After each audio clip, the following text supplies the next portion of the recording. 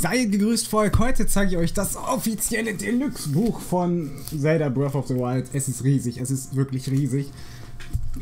Mein Gott, guckt euch mal den Unterschied an. Also hier mit Hyrule Story, das ist schon mega, ganzes großes Stück hier, fetter und größer. Meine Güte. Ich habe mir gedacht, ich werde es mir, ich habe es mir halt bestellt gehabt und habe mir gedacht, wenn ich so ein fettes Viech schon kaufe, dann werde ich euch das auch mal ein wenig zeigen, was da so drin ist. Also wechseln wir erstmal die Kamera und machen das Ding hier auf und dann sehen wir mal, was drin ist. So, jetzt habe ich mal die Apparatur hier einigermaßen aufgebaut. Ich hoffe, das funktioniert so. Und, ah, schaut euch das an. Was haben wir denn da? Sieht nach einer Karte aus. Einer, mein Gott, ja, wirklich. Es ist Hyrule Navigationskarte, wunderbar. Diese Seite des Posters zeigt alle wichtigen Ziele. Ach, gucke. Oh mein Gott, das ist ja tausendmal besser. Wir haben hier die Türme, Regionen, Schreine, Ortschaften, Ställe und so ein Scheiß. Wollen wir mal gucken. So, was haben wir aber jetzt hier noch? Komplettierungskarte. Okay. Würfelmuster, Kreise. Kreise sind Objekte wie Felsen oder Wasserlinien. Okay. Objekte wie Steine, Blätter oder Tonkrüge. Das ist natürlich ganz wichtig hier, die Dinge. Laub und Feenstaub, Rennen, Springreiten, Opfergaben. Opfergaben, mein Gott. Okay, und da unten sind die Krocksamen, Kosten für Inventarfelder. Ah, guck mal, hier, hier, hier, hier. Wer sich interessiert für das, äh, wie viel Inventar man braucht für den ganzen Spaß, ich weiß jetzt nicht, wie das gefokus wird. Hier, ich sehe nämlich nicht die Kamera. Aber ist ja auch egal, wer das sehen will. Hier Waffen zum Beispiel bei 55. Bocksamen kriegt man sein neues Zufall. Oh mein Gott, bei Schilde kriegt man ganz schön viele noch dazu.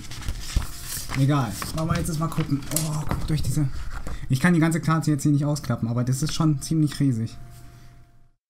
Ja, wir haben hier auf jeden Fall die ganzen Schreine drauf. Also alle Schreine sind drauf. Wir haben alle Städte, die Türme und die Ställe. Das ist gar nicht mal so schlecht. Das kann man auf jeden Fall gut gebrauchen. Und da unten geht es dann auch weit. Oh mein Gott. Okay, warte mal. Dann kann die ganze Karte nämlich noch drehen. Mausi, du drehst durch. Oh mein Gott. Okay, wie beschrieben hat man hier diese ganzen Sachen, wo man was kriegt. Ach du Scheiße. Warte, ich glaube... Ne, das sind Pfeile, okay. Ich habe gerade schon gedacht, ich habe gedacht, da sind auch noch die Waffen aufgelistet. Auf jeden Fall ziemlich riesige, umfangreiche, krasse Karte. Ich wusste gar nicht, dass sie hier mit bei ist. Aber wollen wir jetzt mal gucken, was wir hier so... Der Inhalt, Spielverlauf, Steuerung, bla bla bla. Lösungswege haben wir, Schreine, Gegner, Inventar, Nebenaufgaben, Extras. Das sind 348 Seiten. Vorwort. Also jetzt erstmal hier so ein bisschen Vorwort. Wunderbar. Schnellstart, ja, wie man startet, Lösungsweg. Spielebegleiter, also hier werden nochmal Amiibos erklärt. Grundlagen. Äh, alle wichtigen Spielelemente werden hier vorgestellt. Also wahrscheinlich wird, weiß ich, Ausdauer und so ein Scheiß. Ja, Steuerung und so, das ist nichts, was wir brauchen. Die Welt entdecken, Temperatur, Rubine, Geräuschpegel. Gar nicht mal so unwichtige Sachen eigentlich für den Anfang. Sehenswürdigkeiten, das sind dann hier die Türme und die Schreine und so ein Spaß. Wunderbar. Die Katze geht gerade auf Toilette. Das ist genau um Danke, das ist das beste Timing. Ich bin jetzt auch glücklich, dass gleich die Luft verpestet wird. Kampf. Also hier wird auch erklärt, dass man Entdecken und Verstecken, Pfeil und Bogen überall, Heimlichkeit, Blocken, Wegrennen, perfekter Block hier, also das, was man gegen diese Guardians einsetzt, um die mehr oder weniger umzubringen. Hier ist auch nochmal perfekter Block, wenn du mit einem Schild Ausrüstung und Gegenstände, zum Beispiel hier zum Bäume hacken, dass man hier diese scheiß Äxte benutzt, Hammer benutzen, Krocksamen, Rubine, wunderschön aufgelistet, die Rubine. Charakterentwicklung. Oh, guck mal hier, Ausrüstung. Optimierung der Ausrüstung, Ausdauercontainer. Ausrüstungsfelder wird hier auch nochmal erklärt. Ich habe die Krocksamen zum Beispiel persönlich sehr, sehr spät erst gesammelt. Das war ziemlich ärgerlich. Ach, Kochen haben wir auch noch hier auf der Seite. Ja, Wetter und Elemente. Ich will mal, war jetzt so ganz gut. Ah, Module verbesserte Module, das ist eigentlich auch gar nicht mal so schlecht, weil dieses Stasis-Modul, das ist echt so OP, wenn das aufgerüstet ist. Kannst ja einfach die Gegner anhalten, das ist einfach ultra. Ja, hier nochmal ein paar Rätsel, einfach mal so aufgezeigt. Und hier kommen die ganzen Lösungswege. Ah, hier haben wir Route im Lösungsweg, Fortbewegung des Spielers, Bewegung von Objekten, Bewegung von Gegnern. Also wie man alles machen kann. Guck, oh, jetzt haben wir hier auch noch das Plateau. Wir haben hier auch noch von der Karte selber, damit wir nicht so ein riesiges Ding haben, nochmal im Buch selber verschiedene Abschnitte. gekennzeichnet, wo auch die Schreine und alles sind. Trocksam. Wird hier auch noch beschrieben, wo du optionale Aktivitäten hast. Ähm, das ist das falsche. Mausi, du gräbst gerade den falschen Sand weg, aber ist egal.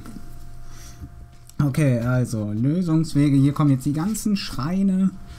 Warmudai-Schrein und oh mein Gott. Also sämtliche Schreine sind jetzt hier immer in Gebiete aufgeteilt scheinbar. Also hier haben wir nämlich jetzt die Region der Zwillingsberge. War hier nicht auch der, genau hier unten. Hier unten haben wir die Farmstelle für den Drachen, wie ihr euch erinnern könnt.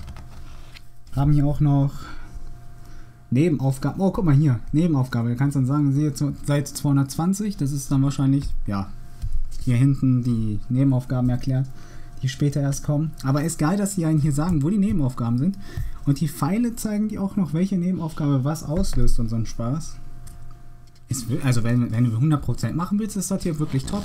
Ich habe es mir halt geholt, weil, ja, weiß ich nicht, das ist halt wie, wie, wie, wie, das Highway Story. Das ist einfach so ein Sammlerding, weißt du. Also muss einfach irgendwo sein, aber das ist ja echt praktisch. Aber vor allem für die crocs kann man zwar auch im Internet nachgucken, aber ich habe mir gedacht, ja, als Zelda-Fanatiker muss das schon so gehen. Grundlage im Überblick Fortsetzung, Standardbögen, Mehrfachschussbögen. Also die Mehrfachbogen, um jetzt mal nachzugucken, haben einen geringeren Basisschaden, aber sie schießen mehrere Pfeile gleichzeitig. Zwei, X2 bedeutet 2, X3 3 Pfeile. Die den genannten Schadenswert machen. Also wenn ihr zum Beispiel einen Bogen habt, der 14 macht, ihr trefft mit allen beiden einen dreifachen Ding, dann ne, könnt ihr ja ausrechnen. Habt da mehr als genug 42 Schaden. Also kann man sich da schon überlegen, ob man einen Einzelbogen vielleicht weglegt der, weiß nicht, 30 Schaden macht. So, das gleiche geht dann jetzt hier mit den Zoras los. Der fette, fette, fette, fette Faruta Dungeon, also der Boss. Ah, hier wird auch noch mal eine Alternative erklärt, wie man den Boss machen kann. Erste Phase wird hier komplett erklärt, die zweite Phase ist ja auch ganz klar. Ich fand übrigens, muss ich wirklich gestehen, ich fand den Boss hier, den ersten, hier Wasser, ähm, ja, den Wasserfluch fand ich echt am schlimmsten. Das war echt, ich weiß nicht, ich hatte so zu kämpfen mit denen. Die anderen waren total easy, aber das war richtig, der richtige Uhrensohn. Die Sache mit den Gerudos, wie man sich da reinschleichen kann und so. Master Koga, wie man den umbringt, das ist aber jetzt eigentlich auch nicht so dramatisch gewesen, aber ich muss sagen, das Versteck war echt schon Terror. Man kann sich da übrigens auch immer noch äh, nach jedem Blutmund Bananen holen. Das sind, glaube ich, weiß nicht, 15 Stück oder so. Also wer irgendwie Level 3er Schadenbuff haben will, der sollte sich da reinbegeben. Hier kommt dann von Laboris. Also, ach so, man sollte man soll also eigentlich den Elefanten machen und dann das Kamel. Ich habe den, den, den Vogel gemacht. Also der Orni-Typ da. Genau, da kommen wir jetzt auch schon zu. Der Windtitan Barmedo. Auch richtig geil, weil ich finde es richtig schön, dass du verschiedene Lösungswege hast für die ganzen äh, Bosse. Ach, für die ganzen Bosse. Ja, Bosse sowieso. Aber auch für die Rätsel und für die Dungeon selber. So, dann haben wir jetzt hier mehr oder weniger die Dingens. Oh, Erinnerungsfotos. Oh, hier haben wir direkt auf einer Karte alle Erinnerungen, wo die sind. Das ist gut, das, da fehlen mir nämlich noch welche. Aber ich glaube, die finde ich sowieso noch ohne die Karte. Das Schwert des Helden. Ja, aktiviere. Ah, hier wird auch nochmal erklärt, was man machen muss. Aktiviere den Turm der Wälder. Finde den Weg durch die verlorenen Wälder. Erforsche den Wald der Crocs und Toyers Masterschwert. Mal wieder Nebenaufgaben. Ab Seite 200 plus. Oh, gucke mal. Hier wird sogar der Waldweg beschrieben, wie man laufen muss, falls man mal kein Feuer hat. Weil du musst dadurch mit dem Feuer durch die rennen. Schloss Hyrule, das ist übrigens ein gar nicht mal uninteressantes Kapitel, weil das Ding ist sehr, sehr vielschichtig. Du hast hier nämlich auch diesen Kerkerboss, dieses Drecksviech, was hier auch das Hylia-Schild hergibt. Also falls ihr das nicht kaufen könnt oder so, weil ihr das noch nicht hattet oder euer Amiibo das nicht gedroppt hat, dann geht zu dem Viechchen und holt euch das. Ja, gerne. Nein, nein, nein. Ja. Ach ja, ach ja. Liste der Schreine.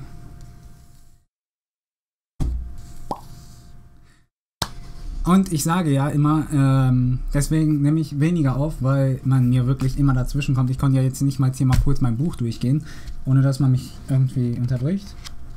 Aber egal, jetzt haben wir hier nochmal alle Schreine. Also wer jetzt irgendwie...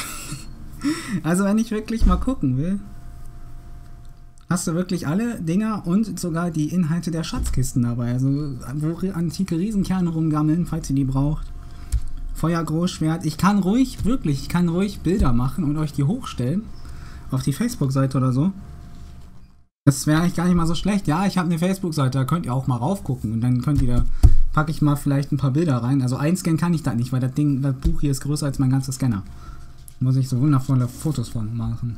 Aber dann habt ihr auch mal vielleicht so ein bisschen Überblick, welche Items da jedenfalls sind. Ich mache jetzt nicht Foto hier von 300 Seiten, das soll ja klar sein, ne? Gut. Oh, um den Schrein zu erreichen, das war ja sehr brutal. Okay, jetzt kommen hier wirklich erstmal alle Schreine. Guck mal, hier, das ganze Stück ist auch noch Schrein, Schrein, Schrein, Schreine. Und da kommen irgendwo die Nebenaufgaben. Ja, Schrein, Nebenaufgaben. Das ist etwas, was ich sehr gut finde. Und hier hast du übrigens das Glossar nochmal in Übersicht. Nebenaufgaben, Inventar kommt gleich auch nochmal. Gegner, Extras und Index. Die Extras interessieren mich ja am meisten noch bei dem Ganzen hier. So, die Türme, wo die sind, das kommt natürlich auch geil. Jetzt erst zu den Nebenaufgaben, dass die Türme erklärt werden. Wobei, wir haben ja sowieso die Karte, also ist das ja wurscht. So, die Nebenaufgaben. Der große Räuberkönig, Seite 220, wird also jetzt gleich erklärt. Wir haben hier übrigens verschiedene Zahlen, römische Zahlen sollte man dann auch schon können. Ein V ist die 5. Gut, ich glaube, das schafft ihr. Also, dann kann man gucken, wo man hin muss, was sich hier wie entwickelt. Kokos Küche zum Beispiel ist vierteilig, ist auch schon mal gut zu wissen. Und dann kann man gucken, wenn man wirklich verzweifelt, wo muss man was machen und was ist was. Da wird auch schon gezeigt. Du wirst mehrere Schatzkisten, darunter eine hinter weiteren zerstörbaren Felsen finden, die Aufgabe abschließen. Okay. Gut, also wunderbar gezeigt, die ganzen Nebenaufgaben, die du hier machen kannst. Werden relativ kurz und ich denke mal sehr präzise erklärt, sodass man das relativ schnell hinkriegt. Dunkle Geschäfte, auch hier wieder die ganzen Orte, wer was hat und alles. Ha, ist nicht uninteressant, ist wirklich nicht uninteressant. Also wenn man wirklich hier machen will. Ah, guck mal, der Laden hier zum Beispiel. Ich dann schätze ich mal. Will man auch mal kurz zur Gerudo-Kacke gehen. Nimmt mein Ding denn auf? Ja, das nimmt es auf. Ich will jetzt mal nochmal zu den Städten gehen. Weil bei den Städten müsste ja theoretisch eventuell auch noch eine Itemliste bei sein. Wie viel was kostet. Bei den Gerudos zum Beispiel. Da gibt es, glaube ich, so wie ich mir selber aufgeschrieben habe, die billigsten Pfeile, mehr oder weniger.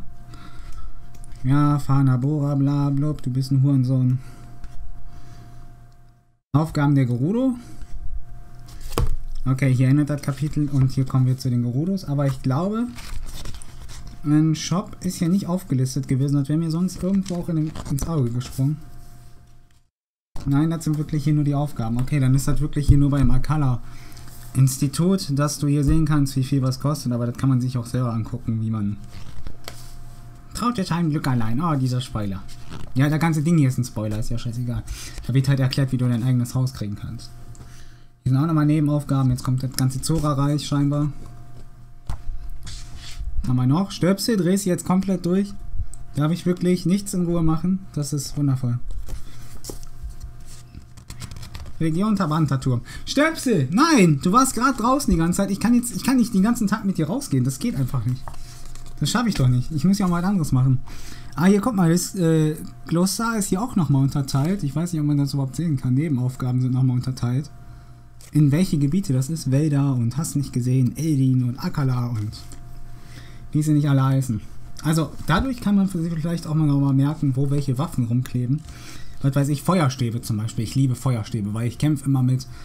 Ich zünd den Boden an, fliege und dann mit dem Bogen und dann halt mit so einer scheiß gekochten Karotte, wie ich das in einem Video mal gezeigt habe, Ausdauer wiederherstellen komplett.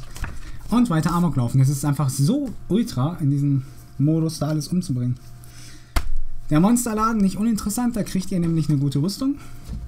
Inventar. So, was haben wir? Ja, mein Gott. Ist das schön. Und die Effekte. Oh mein Gott. Oh mein Gott kein Brennen. Drehattacke ermöglicht eine Drehattacke beim Schwimmen. Ja, das wissen wir das bei den Zora-Sachen. Oh mein Gott, hier sind sogar die Upgrade-Dinger. Alle Upgrade-Dinger hier sind drin. Die kann man nicht upgraden und dann steht hier zum Beispiel ein Herz 10 Stück. Ah, das ist so ultra. Ist das geil. Donnerhelm. Oh, die haben sogar die grimmige Gottheit drin. Obwohl die noch nicht draußen ist, ja. Also der Amiibo ist offiziell noch nicht draußen, aber die haben das Ding jetzt hier schon drin. Toll! Und da habe ich ein Video erst vor kurzem zu gemacht. Ich glaube es nicht. So, Waffen, Elementwaffen, Angriffsfahrer, ja, also hier die ganzen Buffs, die die haben können, beziehungsweise Werte, was weiß ich, wenn du Weitwurf machen kannst oder die halten länger oder machen mehr Schaden. Verfügbarkeit, Ebene von Highway West Necluda. Akala Institut, diese Hardcore-Wächterwaffe. Weißes Schwert kann per Amiibo freigeschaltet werden, okay. Ja, aber auch gut, wenn die mal hinschreiben würden, welchen.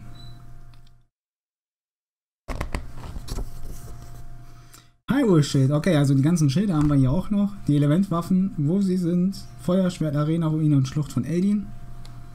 Aber ich glaube, so ein fettes ist sogar im Hyrule Castle noch. Hier ist grimmige Gottheit-Klinge. Oh, das ist schön. Die haben wirklich schon das Aktuellste vom Aktuellen drin. Die verschiedenen Pfeile. Lichtfall, Schattenbogen, Angriffskraft 100. Ja, das wissen wir ja von dem Ende. Das kriegst du ja so nicht. Zutaten. Oh, das ist gut. Große Maxi-Rübe, Hebra-Gebirge und Gerudo-Hochebene. Du kannst du aber auch im, in der Nähe von dem Farodra-Drachen bekommen.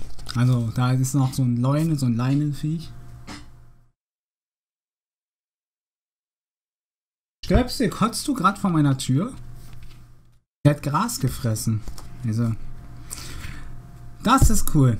Gekochte Nahrung. Die Rezepte. Stöpsel! Nicht verrecken. Also, wenn ich gleich aus der Tür gehe, werde ich wahrscheinlich in Kotz treten. Wunderbar. Okay, wichtige Gegenstände. Soweit wie der Donnerhelm, den kriegt man in der Nebenaufgabe, den will ich auch mal hinkriegen. Habe ich mir immer noch nicht geholt, ich hatte nämlich gar keinen Nerv darauf. Was?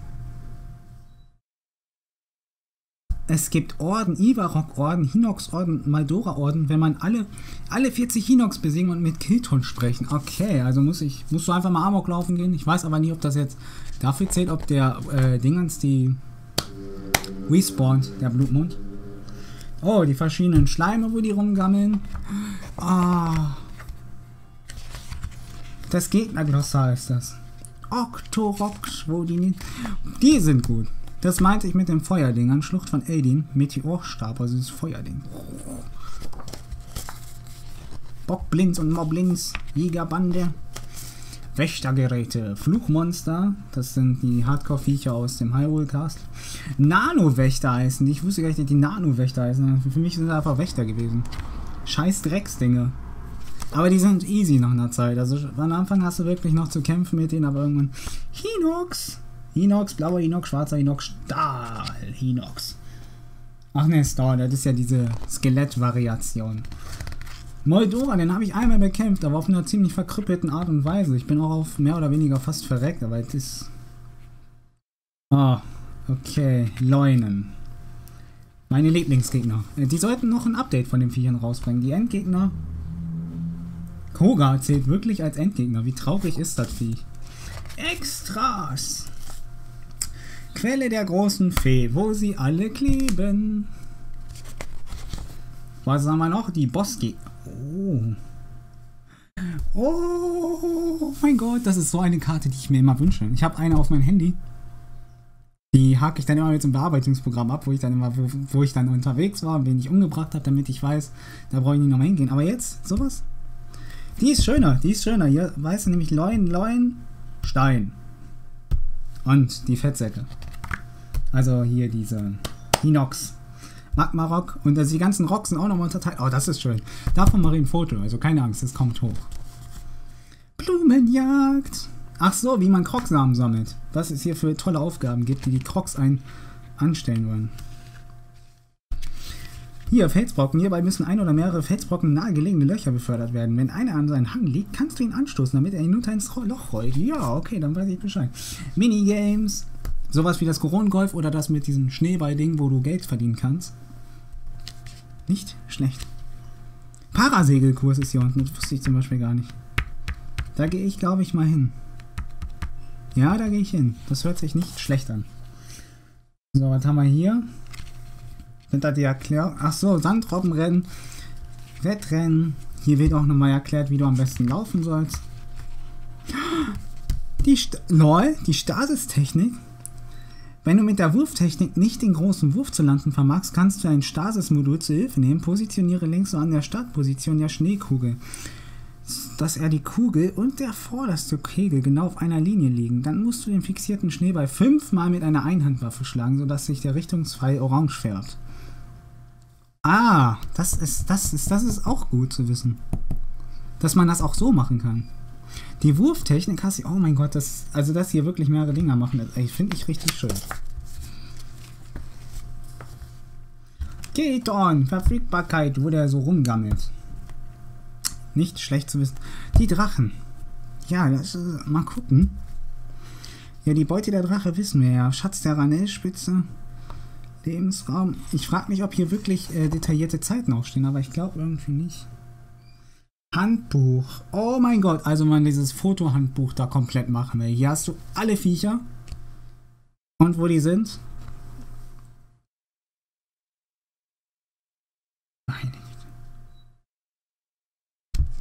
Also wenn du wirklich 100% machen willst, ist das Buch hier einfach awesome. Geheimnisse und Easter Eggs, das ist doch schon mal nicht mehr schlecht. Das ist hier der Typ aus dieser Megastadt, wo du das Schild nachkaufen kannst und andere Sachen. Hühner, wenn du Hühner mit einer Waffe schlägst, legt es dein Ei, das weiß ich. Wilde Tiere kann man auch reiten. Feuerimmunität.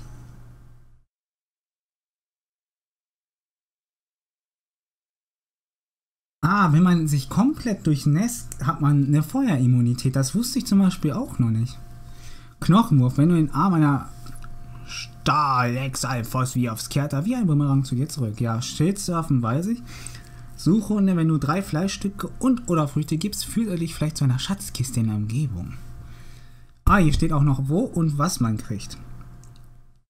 Irgendwann interessantes dabei, ein Sternsplitter ist ein Angelstellt. Ansonsten Pfeile, Ritter, Schwerter, Lanzen. Auch noch ein Sternsplitter. Ein Stall des Schneelands. Muss da mal gucken gehen. Goldener Rubin ist ein Stein von Marita. Also muss, muss ich auch mal, mal schauen. Sturzflug. Wenn Link durch die Luft geschleudert wird, zum Beispiel durch eine Explosion, kannst du den Sturz abfangen, indem du das Parasegel vollziehst.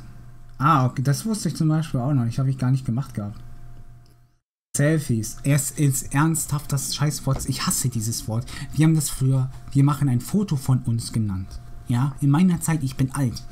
Aber doch nicht safe. Ich hasse dieses Wort. Ich hasse es. Und jetzt ist das in einem Zelda-Buch drin. Das ist für mich ein Schlag ins Gesicht. Das macht mich so traurig. Was haben wir noch? Herr der Wildnis. Einzigartig. Achso, das sind diese leuchtenden, wunderbaren, tollen Viecher. Wo man auch deren Rücken reiten kann. Die Pferdefee. Das wissen zum Beispiel auch nicht viele. Wenn ein Pferd kaputt gegangen ist, kannst du äh, das Ding wiederbeleben gehen. Wenn du die Quelle untersuchst und 1000 Rubine erzahlst, erscheint Marlon. Dieser verstörende Charakter ist die Pferdefee. Ja. Okay, das ist toll. Die Arena, die habe ich euch schon mal gezeigt. Easter Eggs. Oh mein Gott. Okay, ist eine Seite. Die können wir mal kurz durchgehen. Aquila, oder wie auch immer der heißt, ist der Schwertmeister in der Trainingshalle von Skyward Sword. Die Bele-Ebene. Die Hochebene von Bele ist ein Ort in The Minish Cap. Wusste ich zum Beispiel auch noch nicht. Betulu-Ebene, benannt nach einem Cock. Nein, nein, oh, oh mein Gott. nach einem Krog. Nicht Cock aus Wind Waker. Wo nun? In Phantom Hourglass eine Insel im Nordwesten der Welt des Meereskönigs. Brillenfelsen, eine wiederkehrende Bergformation in der Serie. Ernsthaft? Ich glaube, die kam auf jeden Fall in Wind vor, ich bin mir nicht sicher. Ähm, Daphnosberg. Daphnos Johansson war in Wind Waker ein ehemaliger König von Hyrule. Schön. Dorf der Zora ist eine Ortschaft, ja, das wissen wir. Auch aus Ocarina of Time. Die hätten, ja, gut, in A Link to the Past hat man noch nicht wirklich ein Dorf. Da waren einfach Zoras auch noch ein bisschen verkrüppelter. Die große Ebene im Herzen von Hyrule gibt es in vielen Teilen der Serie. Ja, Eldin, ein göttliches Wesen namensgebend für die Region in Twilight Princess und Skyward Sword. Faratzwald, benannt nach dem Fratzenwald in Link's Awakening. Floriasee. Einen Floriasee und Wasserfall gab es auch in Twilight Princess und Skyward Sword. Also Twilight Princess und Skyward Sword teilen sich viele, viele Namen. Gerudo-Wüste, eine Region von Hyrule in Twilight Princess. Nein, nicht nur. Es gibt die aber auch in Ocarina of Time, aber ist ja wurscht. Wer bin ich denn, dass ich so welche Sachen sagen darf? Goronberg, eine Bergregion in the Minish Cap. Ach nein, der Gongolberg, nicht der Goronberg. Aber die Goron-Quelle. Aus Majora's Mask und Twilight Princess. Goronia aus Ocarina of Time. Grio-Brücke. Ah, benannt nach dem wiederkehrenden Namen für einen Drachen. Variation Gileok, Gileok und Gilirok. Tolle Namen. Gustavberg. Gustav war ein ehemaliger König von Hyrule in The Minish Cap. Horonbucht. Das Horondorf ist das zentrale ist das zentrale. Er ist der zentrale Ort in Oracle of Seasons. Das sind die Game Boy Color Teile, die waren richtig ultra, ja? Oracle of Ages und Seasons. Boah, bombastisch. Die große Brücke bei den Hylia-Seen Twilight Princess. Die Hylia-Brücke. Hylia-See, ja, kommt immer wieder vor. Kakariko auch. Ganalet Hochebene. Schloss Ganalet ist ein Ort in Link's Awakening. Wusste ich nicht. Lockfriedberg. Benannt nach König Lockfried aus Triforce. Weißt du, und dann dann gibt es Leute, die sagen, ja, ich habe echt Ahnung von Zelda und dann wissen die sowas nicht. Ich wüsste das jetzt auch nicht, aber das wäre aber schon krass, wenn du dann so, so, so einen Durchgang siehst und dann erzählt er dir erstmal so was vom, ach ja, der Lockfriedberg, das war doch hier der König aus, aus, aus Minish Cap und hast nicht gesehen. Aber dann würde ich mir auch so denken, okay, du musst ja sonst nichts im Leben lernen. Scheinbar, ich habe meinen Kopf auch mit anderen Scheiß voll, egal. Wo waren wir? Bei Lulu-See. Lulu ist die Sängerin einer Zora-Band, das weiß ich sogar noch aus Majora's Mask. Melka, die Insel, auf der Link bei seinem Abenteuer in Phantom Hourglass erwacht, nie gespielt. Mido Sumpf. Mido ist der Anführer der Kokiri, quasi der Vorläufer der Crocs in Ocarina of Time. Mikau, auch, das ist der Gitarrist aus äh, Majora's Mask. Molode, eine Insel aus Phantom Hourglass. Möwendorf, bestimmt, ach, aus Link's Awakening. Ich habe jetzt eher auf Wind Waker getippt, egal. Äh, Naboro-See, Naboro war der Name einer Gerudo in Ocarina of Time. Das war die, die äh, da von den beiden Twin-Schwestern total vergewaltigt wurde. Wo bin ich gewesen? Da, Navi, benannt nach der Navi-Fee, der Navi-Berg. Navi-See, benannt nach Fee Navi. Mausi, das machst du wundervoll. Ähm, Quelle der Kraft, nein, ich bin ganz woanders. Orenbrücke. Oren ist die Königin Azoras in A Link Between Worlds. Oh, das haben wir auch noch dazu. Naboroberg. Naboro war der Name einer Gero... Ach, das habe ich gerade übersprungen. Ah, oh, ja, ja. Nein, ich bin verrutscht. Orenbrücke. Königin Azoras. Da war ich doch gerade. Ich bin komplett raus. Fironewald. Das war das Viech aus... Ah ja, hier. Firone gibt's. Twilight Princess Skyward Sword. Quelle, Kraft, Mut, La, Weisheit, Triforce. Nimmt das Ding noch auf? Ja, brav. Okay. Iranil, ein göttliches Wesen und Namensgeber für eine Region in Twilight Princess Skyward Sword. Rauru, weißes Licht in Ocarina of Time, verewigt in einem der Buntglasfenster von Schloss Hyrule in The Wind Waker. Romani, das Mädchen aus Ocarina of Time und Majora's Mask. Nein, doch. Die Romani-Wench. Tolle Erinnerung. Alien-Attackierung. Was will man mehr? Kükensong-Geburt. Ja, ja, was nicht gibt. Sauz. Die Insel ist benannt nach dem Schmied, der in Hourglass das Phantomschwert schmiedet. Schloss Hyrule. Ja, das kommt immer vor. Ceres-Ebene. Ceres trifft man in der Kirche in Link Between Worlds. Taltal-Gipfel. Sind Gebirgsregion Endlings Awakening. Tingila ist an Tingle gerichtet. Todesberg hatten wir auch in mehreren Spielen, wie A Link to the Past und natürlich auch Ocarina of Time. Toron Garstrand, Kokolin in A Link's Awakening. Okay, Toto, sie ist der Manager der Zura Band in Majora's Mask. Das habe ich schon voll vergessen. Mit aber noch Tüter, okay, Tüter ist ein Lehrer an der Ritterschule jetzt Sword. Die Urunga Steppe ist ein Ort Link's Awakening, ein wiederkehrender Name für labyrinthartigen Wald. Es sind die verlorenen Wälder, Wüstenburg-Ruine, vierte Dungeon Twilight Princess, Zeitenwald, das ist in Oracle of Ages. Und Zitadelle der Zeit kennen wir natürlich auch aus Twilight Princess und natürlich Ocarina of Time. Und die Zwergenbucht ist ein Gebiet gleichen Namens wie in Link's Awakening. Die Konzeptgalerie, wie sie hätten aussehen und so aussehen sollen und wie sie es tun. Wunderbar, der alte Mann, wirklich toll. Ja, ja, es ist nie gut. Mifa, eine der Recken. Ja, alle am Verrecken. Die Recken verrecken, das ist einfach das Schönste im Deutschen. Boah, der Goron. Daruk. Der war ja auch so ultra cool. Fand ich richtig geil. Octorox. Ich liebe die Steine, die sind so toll. Das sind die geilsten Gegner überhaupt, die sind so wundervoll, die Steine. Oh, jetzt kann ich mir die Dinger angucken, ohne dass die mich umbringen wollen. Ist ja auch schön. Ding ohne Kopf. Die sind übrigens an A Link to the Past, an diese scheiß Chimären oben auf dem Todesberg, wenn du in der Schattenwelt bist, gewidmet, ne? Denke ich, ist auch kein großes Rätsel. Die Designs für die Schreine, äh, Boden. Das sieht nach einem Rätsel aus dem flatterig aus. Ich habe den Namen Faruta oder so ein Scheiß, ich Vieh. It's dangerous to go alone. Viele jüngere Leser werden das Zitat frei übersetzt. Es ist gefährlich allein dort draußen. Hier nimmt dies wahrscheinlich eher als beliebten Internetspruch kennen. Er stammt aus dem ersten Abenteuer von Link. Ja, das wissen wir.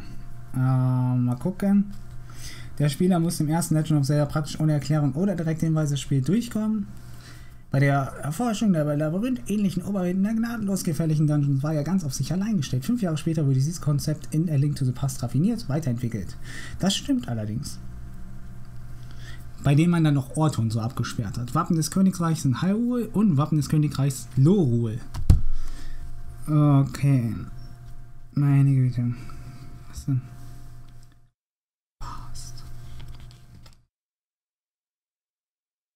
Sicher ist sicher. Was haben wir denn jetzt hier noch für ein... Mit regelmäßigen Checkpoints, automatisch gespeicherten Spielständen und der zusätzlichen Option manuelle Spielstände anzulegen, bietet Breath of the Wild eine vielfache Absicherung vor Gefahren. Das stimmt allerdings. Wenn du einen Boss nicht besiegst oder so, klebst du sowieso dich davor oder wenn du teilweise wirklich bei Minigegnern kannst du einfach speichern und dann sagen, ja, ist mir zu gefährlich, so einen scheiß Leune zu bekämpfen. Aber ja, der Weg ist das Ziel. A Link to the Past. Also kommen jetzt hier die ganzen Spiele quasi. Oh mein Gott, ist das schön. Evolution von Hyrule. Neue Dimension, da haben wir dann die 3D-Ebene durchbrochen. Nein, die 2D-Ebene haben wir zu 3D durchbrochen. Alles ist miteinander verbunden. Zelda-Spiele boten schon immer optionale Aktivitäten, um den Spieler kurzzeitig von der Hauptgeschichte wegzulocken. Majora's Mask basiert in technischer Hinsicht auf dem Vorgänger Ocarina of Time, besitzt aber eine ganz eigene, außergewöhnliche, düstere Atmosphäre.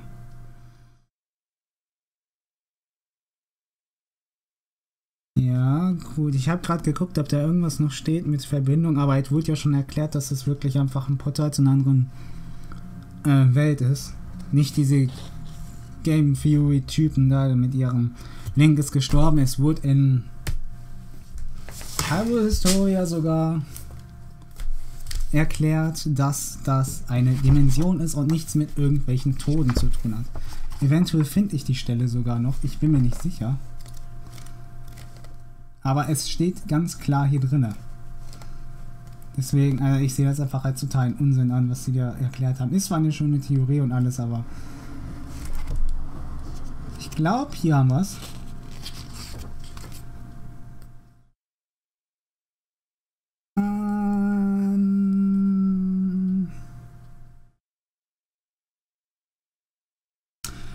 Unruhen in der Parallelwelt Termina, genau.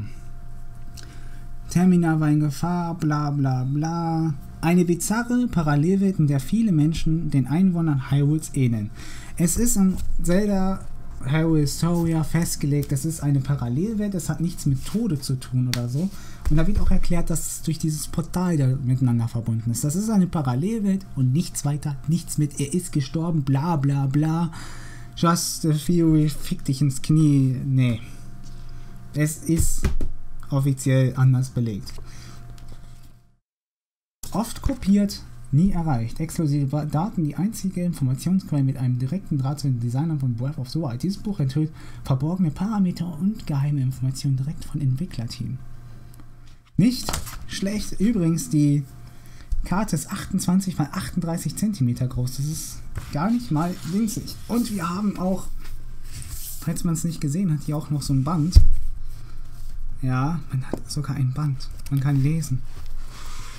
Und man kann sich die Seite merken.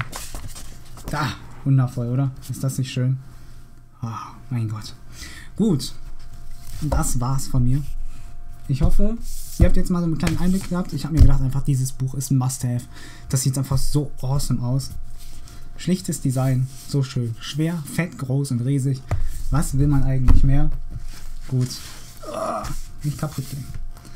Gut, dann hoffe ich, es hat euch gefallen. Nochmal und wir sehen uns dann zum nächsten Mal oder so wieder. Also, bis dann.